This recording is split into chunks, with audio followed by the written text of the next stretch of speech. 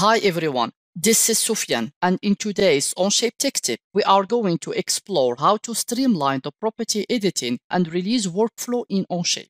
Editing properties for a single part or assembly in OnShape is straightforward. Right-click on your part displays the Properties option, accessible from different locations like a part studio, within an assembly, or directly from the tab. Just open the context menu, select Properties, and you are ready to make changes.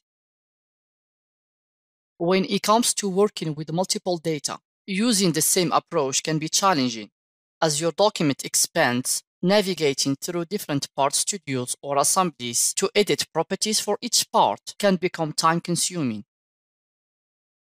On the other hand, considering the versions and history feature might seem like a good idea. You can dive into the properties dialog from the main workspace or a specific version showing all the data available within the document. However, it can get tricky, especially when you need to navigate through a long list to select specific data for editing. This process can be time consuming, especially if you find yourself dealing with extensive documents. Now, here is where OnShape's Tab Manager comes to the rescue. In the Tab Manager, you can select multiple items using keyboard shortcuts to make the selection easy.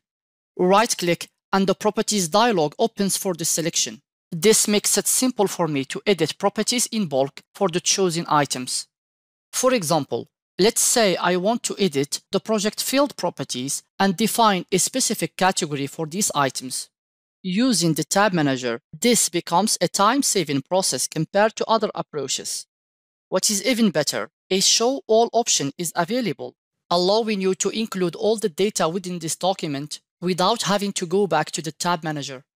Finally, after editing properties, you can easily release the selected items right from the Properties dialog. You don't need to leave this dialog to create your release candidate. By starting the release from here, you can choose items in advance and add them to the release candidate all at once.